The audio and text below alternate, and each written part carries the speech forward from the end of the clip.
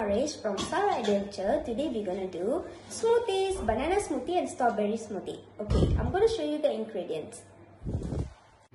We need banana, strawberry, sugar, ice and milk.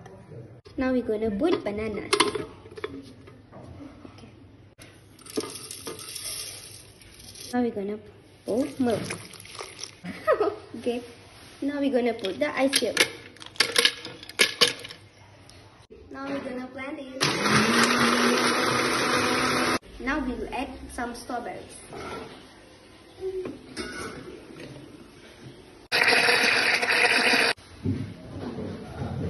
Okay guys, it smells so good. now we're gonna pour in the cup.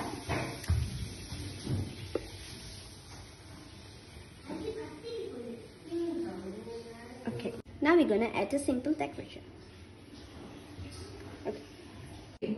So guys, we are done with our banana strawberry smoothie. So we're gonna taste it. So it tastes so good and sweet too. So I hope you enjoyed this video. So this is your Sarah Harish from Sarah Adventure. Bye.